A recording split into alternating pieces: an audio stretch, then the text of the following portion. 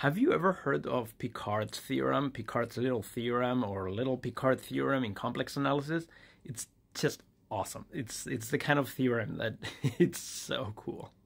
It's just one of those theorems that shows how being entire, being a holomorphic function in all of the complex numbers, it's such a strong condition. So being holomorphic in the entire complex plane means that the function has a complex, it's complex differentiable and that is such a strong condition compared to real differentiable that uh, it has consequences like this one.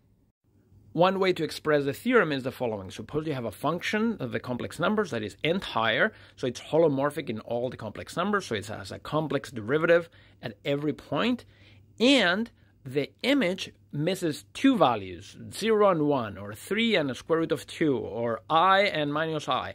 If it misses two values here, then it has to be a constant function. That, that's so bizarre. And that condition is critical. It's critical because, well, we have, for example, the exponential function, which is uh, the complex derivative of e to the z, is itself, just in like the real case.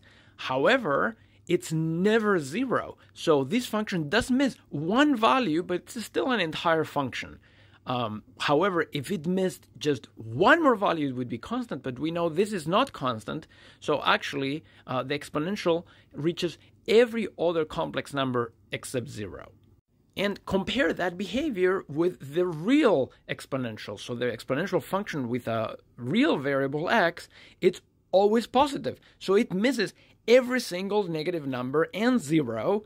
Uh, so it misses infinitely many values of real numbers, but yet it's, of course, not a constant function.